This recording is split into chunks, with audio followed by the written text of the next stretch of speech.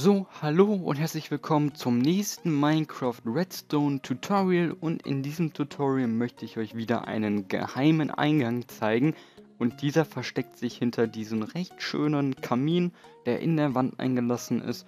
Und wenn wir einfach hier diesen Notenblock hauen, öffnet sich hier ein Durchgang, wir können durchgehen und die Tür hinter uns wieder schließen. Dasselbe können wir machen hier. Einfach wieder auf und zack, wir können hier wieder durchgehen und den Notenblock hier wieder hauen, um das aufzumachen. Das Ganze verbindet sich durch mehrere Mechanismen. Einmal hier ein Data Update Detektor, einen T-Flip-Flop und ähm, verschiedenen Pistenmechanics, die hier die Blöcke hin und her schieben. Und einer der wichtigsten Tricks hier drin ist, dass man in Dispenser Flinten Steel reinmachen kann und diese zünden Netherrack an. Und wie man das Ganze hier baut, das zeige ich euch jetzt. Ganze Mechanismus von dem Tür, also von der geheimen Tür von sich selber, ist eigentlich zwei einzelne Sachen, also eigentlich sind die Teile ein Block breit und ähm, auf der anderen Seite ist dasselbe nochmal gespiegelt. Man fängt an mit dem Input-Block, den kann man einfach so bauen, hier ein Schalter dran, hier einmal so, Redstone dran. Und hier ein Repeater auf zwei Ticks mit einem Sticky Piston, der nach oben zeigt.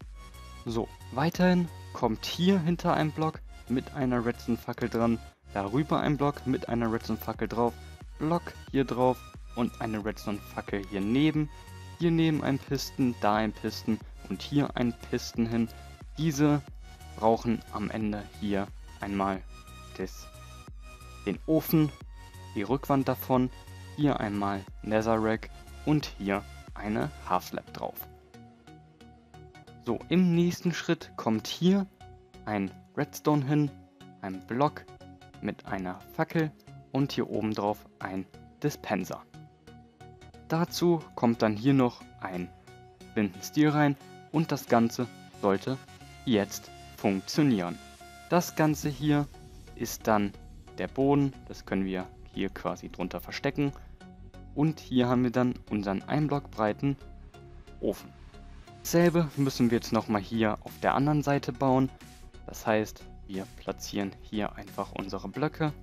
Auch hier wieder unseren Input. Hier mit der Fackel. So. Und hier. Und nicht zu vergessen hier den Block. Hier ein Sticky Piston. Hier zwei Sticky Pistons. Ein Repeater und ich habe das Ganze schon ein Block so weit nach innen gebaut. Das heißt quasi, das müssen wir hier hinbauen. So. Hier den Repeater auf zwei Ticks. Hier die Fackeln. So.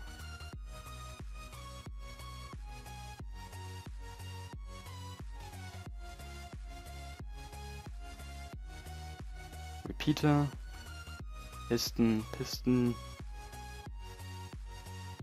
hier Netherrack, hier Bricks drauf, so, und nicht zu vergessen hier ein Penser mit einem Feuerzeug.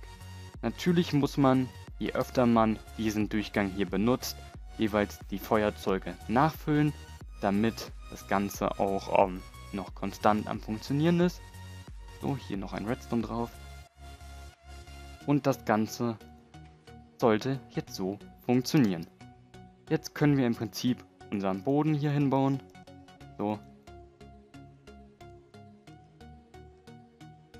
Und im nächsten Schritt kommt dann die Wand hier hinter und wir bauen den Ofen und den Data Update Detektor. Um den Ofen zu bauen, platzieren wir einfach hier zwei Treppen hin, hier nochmal zwei Blöcke rüber. So, selbe hier auch.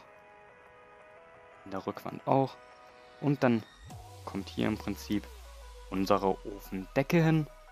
Hier einmal zwei auf dem Kopf stehende Treppen, die hier so rüberführen. Und dann können wir hier unseren Schornstein bauen. Unsere Wand besteht unten als eine Art Fundament aus Notenblöcken. So, und hier kommen dann Stone Bricks rüber, weil ähm, man kann auch natürlich andere Materialien verwenden, man muss nur aufpassen, wenn man Holz verwendet, das kann hierbei anfangen zu brennen. Unseren Input, also dass wir das Teil aktivieren können, nehmen wir aus diesem Notenblock hier raus. Das heißt, wir müssen das Ganze auch hier überdecken und wie man diesen Data Update Detektor baut, das ist recht einfach. Wir platzieren hier hinter einfach einen Block, eine Redstone Fackel darauf, ähm, dann hier hinter einen Comparator mit einer Kiste. In diese Kiste tun wir ein Item unserer Wahl, sodass wir die Fackel ausschalten. Davor ein Sticky Piston und einen Block. Und wenn wir jetzt hier Rechtsklick drauf machen, dehnt sich der Piston einmal auf und wir haben unseren Update-Detektor. So, um jetzt auch ein Signal aus diesem Update-Detektor herauszuziehen, müssen wir folgendes machen. Wir brauchen hier eine Inputquelle. Die führen wir in einen Block rein, beziehungsweise hier dann in den Block, wenn der sich ausdehnt und nehmen das Signal dann hier weiter mit Redstone. Hier können wir dann vorne ganz einfach eine Fackel dran machen, das Signal so nach hier unten leiten, hier auch nochmal einfach eine Fackel dran und das Signal können wir jetzt von hier in einen T-Flip-Flop reinleiten und dazu müssen wir hier erstmal etwas Freiraum schaffen. So. Hoppla. So. Wie man den baut. Wir platzieren hier einen Sticky Piston, hier einen Sticky Piston und in der Mitte einen Block. Hier drüber zwei Blöcke, sodass wir quasi die Pistons powern und hier oben drüber Redstone. Und wenn jetzt, sag ich mal, ein Input in hier reinkommt, verschiebt sich das Ganze einmal auf die andere Seite. Das heißt, wir können im Prinzip hier eine Redstone-Fackel drunter stellen und einmal das Signal hier herausleiten. Und das müssen wir dann hier in diese Blöcke hineinleiten. Dazu müssen wir hier wichtig vorher Repeater vorplatzieren, das Ganze hier mit Redstone verbinden und auch hier eine Spur verlegen.